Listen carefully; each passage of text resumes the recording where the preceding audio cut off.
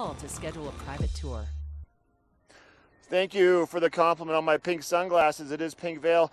Perfect storm going on right now. Here's what's happening 10 inches of new snow.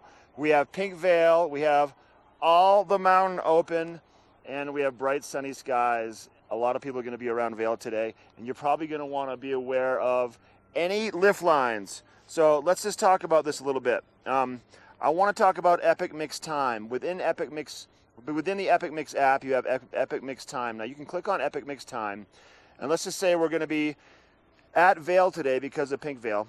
But you know what? I don't want to stand in line. I want to be able to move around and be mobile and go from lift to lift and get there. Now, all the lifts right now obviously are closed because the lifts don't open until 8:30. But once the mountain opens, you can track through crowdsourcing at the lifts the lift wait times at every lift at the base. So you don't venture off to a lift where there's too long of a wait line because you guys are on a mission today for Pink Pinkvale to get to all the different checkpoints over the course of the day today.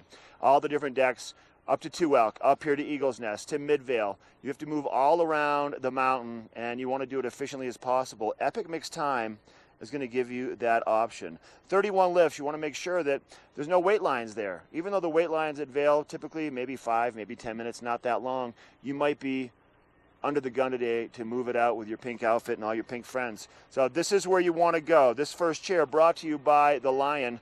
We have a weather report coming up next.